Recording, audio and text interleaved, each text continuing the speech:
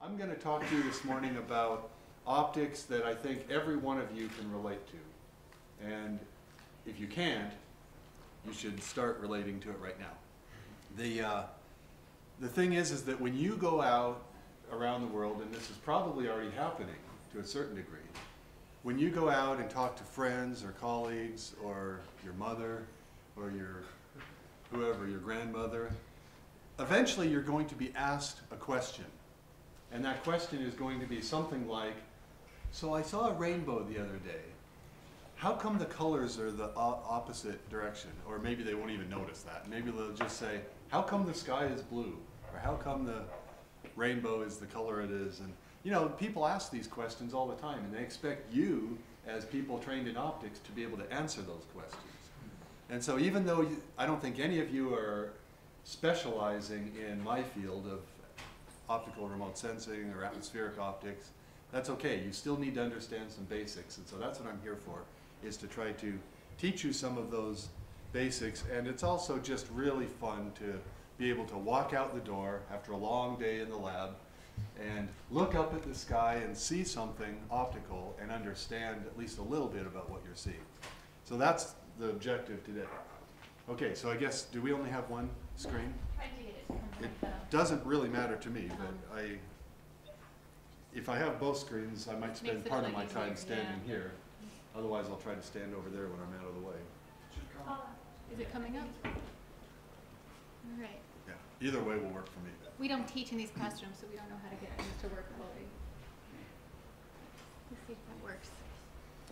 Okay, well, I was thinking that the Brazilians would still be on the line, and so I was going to celebrate with them the fact that we are covering this huge range of geography, but they're too busy on the beach, and so we'll just, uh, we'll just celebrate without them. But I, I came from this yellow dot right there, Bozeman, Montana, in the United States, and that's at about 46 degrees north latitude. We are presently here in Tucson, southern Arizona, in the United States, at about 32 degrees north latitude. And the group that we just saw were on the beach down here at about 8 degrees south latitude. So they're on the other side, long way away from us. So if, it would be nice if they were joining us here, but that's okay. Okay, can we bring these front lights down, Paula? What I want is the lights that are on the screen. Oh, that, that one's lit.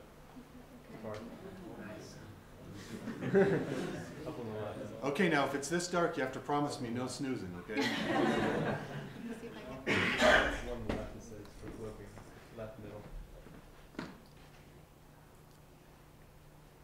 My, my goal is to have the colors a little bit vibrant on the screen, but still have you not totally asleep. So, Okay, I think we got it on both screens for you now. okay. Does it work out for you guys if I stand here part of the time? Okay. Because it's probably easier for me with the computer being right here. Especially you students from the southwestern United States universities, you see a lot of really dramatic sunsets. Uh, that's one thing that's really special about the southwest is, is the sunsets. Montana doesn't do too badly either. This is a Montana sunset. When I was a student here at the University of Arizona, I was used to seeing great sunsets, and I have many, many pictures to prove it, just like the Facebook page says. um, I was also used to seeing dramatic storm clouds. This is again a Montana picture, but but typical of the kind of storms that you might see around different places. Actually, great storm clouds are to be seen everywhere. One of the most dramatic ones I've ever seen was in Washington D.C. Actually, and uh, what's what's the basic cause of those colors versus those colors? Okay, does anybody know the answer? It's scattering, and we'll talk about that a little bit. Um, let Mie go here and talk about, I I only have, if I remember right, three really techno-geek slides, and this is one of them. So you have to pay attention here a little bit. On this slide, thi- what this is, is a, a calculation from what's called a me scattering code. So this is an electromagnetic scattering program that calculates scat, electromagnetic scattering or optical scattering from a sphere. In this case, spherical particles of something. And in this case, that something is typically little water droplets. And so we have the normalized irradiance or intensity on the vertical axis and uh, wavelength. I think my green laser is starting to die, so I'll use your red one. And wavelength is on the horizontal axis. What this is showing you is that the blue curve is calculated for a little tiny particle, which is many, many times smaller than the wavelength. Okay, that's the condition for which the Rayleigh scattering approximation holds, which is a dipole scattering model. And for that, the wavelength distribution of scattering is, it, it goes as one over wavelength to the fourth power. So think about one over wavelength to the fourth. Okay, anything to the fourth power is a fast variation with whatever that thing is, right? If you had, if you have a function that goes as t squared, where t is time, obviously it's growing with time very rapidly. Well, think about wavelengths to the fourth power. It's increasing with wavelength, but that's in the denominator. So if you have a number that's getting large and you put it in the denominator, you get something that's getting small very rapidly. And that's what we have here. One over wavelengths to the fourth, which means that short wavelength light is scattered much more effectively than long wavelength light. And so you see at 400 nanometers, this is sort of approximately the visible spectrum that we see with our eyes. So 400 nanometers would be down in the deep blue, the violet region. And we, we get a lot more scattering than out here in the red. A factor of, actually if you do the, the math and calculate it, you can come up with about a factor of eight. The red curve is a little bit disturbing because it actually goes the opposite direction from what I expected. But it's, it's basically flat, is my point that I want to make. This is for a 10 micron water droplet, which is not in the Rayleigh scattering regime for visible light. That's in the Mie scattering domain, which means that it's comparable to, or slightly larger in this case, than the, than the wavelength of light. So we have to use a full electromagnetic solution. We can't use simple Rayleigh scattering theory. And so this would be typical of a cloud droplet. Little water droplets that make up many clouds are about that size. And so when we go back to this picture and say, why does this cloud appear nominally white? Well, the explanation is right there, what we talked about. Why is the sky blue back here? Well, the things that are scattering light back here in the blue part of the sky are the molecules of gas that make up the atmosphere themselves. What molecules are those? What, what molecules are in the atmosphere? Do you guys know? Nitrogen, oxygen. You guys know all these things, right? So I guess I'm done. okay, so it's nitrogen and oxygen primarily. And those are many, many times smaller than the wavelength, so we get a blue kind of scattering. Whereas the cloud droplets are more like the 10 micron water droplets that I just showed you the calculation for. And so it, it, there, the calculation I showed you was a little unrealistic because it's just for a narrow distribution, but it showed that essentially it was flat. It, it actually even rose slightly. Most large particle scattering will fall off with wavelength, but slowly, much more slowly than Rayleigh scattering. Okay, but that, that leaves us with a mystery. And the mystery is then, when you look at the sky, what do you see? According to what I just said, it should be violet, because the violet light scatters much more than the red light or even the blue light. So why do we see blue instead of violet? Or do you see violet? I don't. I see blue when I look at the sky during, during the day at least. I see blue. So why is it not violet? Well, the answer is a couple things. First of all, this is a spectrum of, of scattered radiance. So this is the, the amount of uh, power solid angle that's, that's scattered by the molecules in the sky versus wavelength again. This is over a wider spectral range than we talked about before. Now I'm going from 0.3 to 1 micron.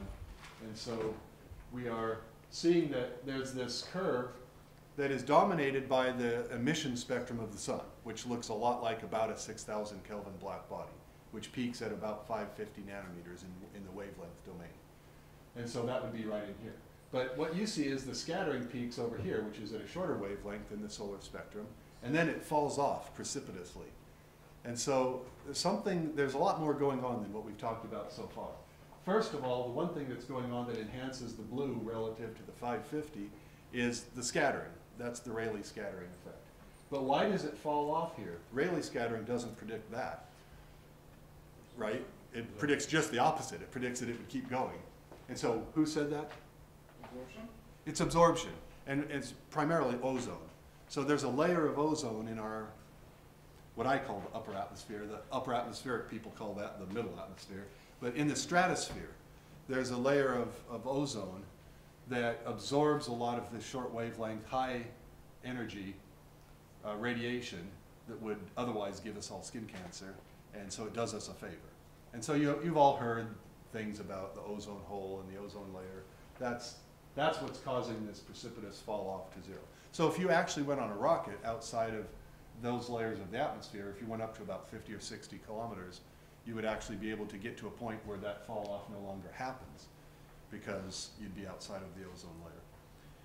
Okay, there's one other thing. So we, we, this would say, okay, we see fairly blue sky, but there's another effect, and this is hand drawn with kind of a crappy little mouse kind of thing.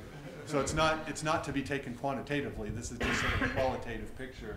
But look at what this says. This, this is the photopic response curve of human vision. In other words, the daytime vision curve. This is what you see when your eyes are light adapted, nominally, kind of my approximation.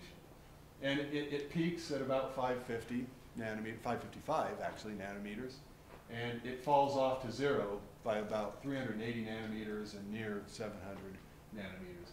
And so the combination, what, what you see is a combination of what the scattering presents and what your eye can detect. And so when you multiply by the sensitivity curve of your eye, you get a blue sky instead of a violet sky. So it's really the two things. It's a, it's a combination of Rayleigh scattering, so it's three things. Rayleigh scattering, ozone absorption, and your visual system spectral response curve. So when, when your kids someday ask you, Daddy or Mommy, why is the sky blue? You know, that's the classic question kids are supposed to ask, right? Usually they ask much harder questions, but they, might ask that question, and now you know. And, and maybe you knew already, but that's, that's, a, that's a good starting point. All right, so now here's a picture that I took not too far from my house of a full moon rising one night. And you see some similar effects to what we talked about. Oh, actually, I want to go back a couple slides because I want to revisit this in, in the light of what we just talked about.